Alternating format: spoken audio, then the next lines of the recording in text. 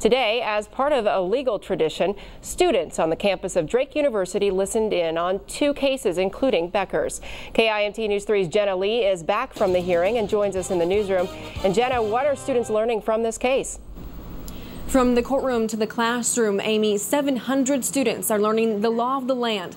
Throughout the 45-minute proceeding, Becker's attorney first argued that the trial judge failed to instruct jurors the consequences of a not guilty verdict by reason of insanity, meaning he wouldn't have been released from custody. She claimed it violated Becker's due process rights under the Iowa Constitution.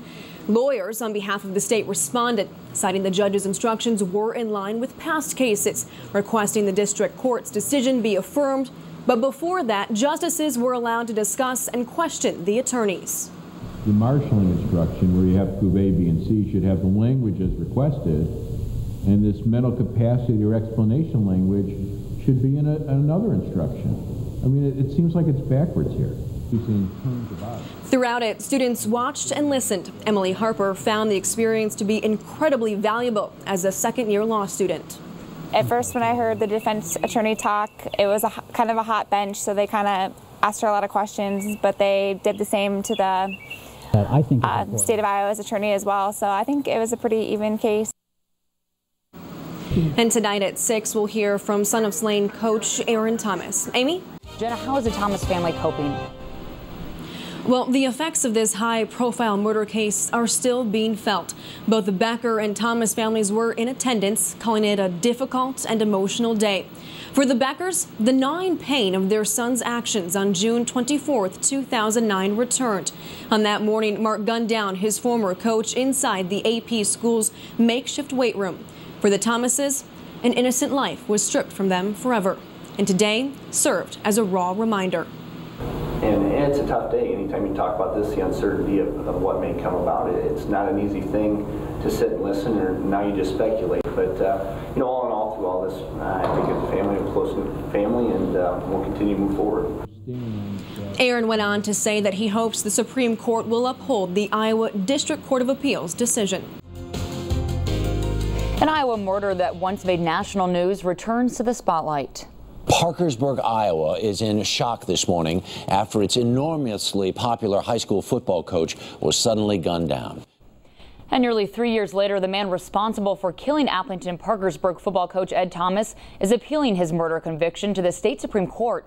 Mark Becker believes he should have a new trial, claiming that the judge improperly instructed the jury on elements of the insanity defense, as well as the consequences of a not guilty by reason of insanity verdict.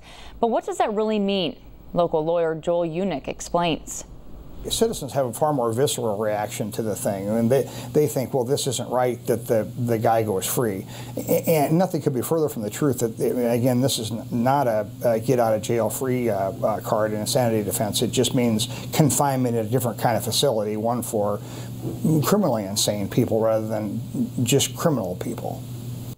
And today's oral arguments were heard on the campus of Drake University. The very public setting triggers all kinds of personal emotions. KIMT News 3's Jenna Lee was there and has this report. Uncertainty of, of, what may come about it. It's not an easy thing to sit and listen, or now you just speculate. Fred Thomas's son, Aaron. You first have to make the state prove all the elements. This Supreme Court hearing holds more weight than what's on paper. To the convicted murderer, a paranoid schizophrenic, reality remains in play. Mark will always be contained. He will never, he, number one, he can't cope in our society with the illness that he has. And number two, he does need to be contained. We recognize that.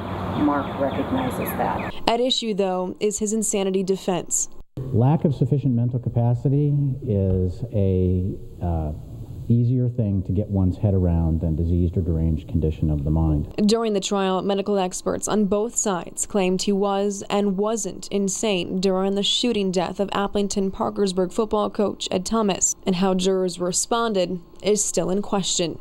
What the jury wants to know is, is this man going to be released into our community? That's what they wanted to know. Becker's attorney argues that the trial judge failed to instruct jurors the consequences of a not guilty verdict by reason of insanity, meaning he wouldn't have been released from custody. She claimed it violated Becker's due process rights under the Iowa Constitution. Because it makes it very difficult for jurors to, to sit on a case like our son's case was and to be able to say not guilty. because not guilty but insane is a very difficult thing for a juror to come to terms with, and I don't blame them for that. You wouldn't be the party complaining. Lawyers on behalf of the state responded, citing the judge's instructions were in line with past cases, requesting the district court's decision be affirmed. And the Thomas family agrees. This is it, and they uphold the decisions, and we can move forward and you know, hopefully get on with the rest of our lives.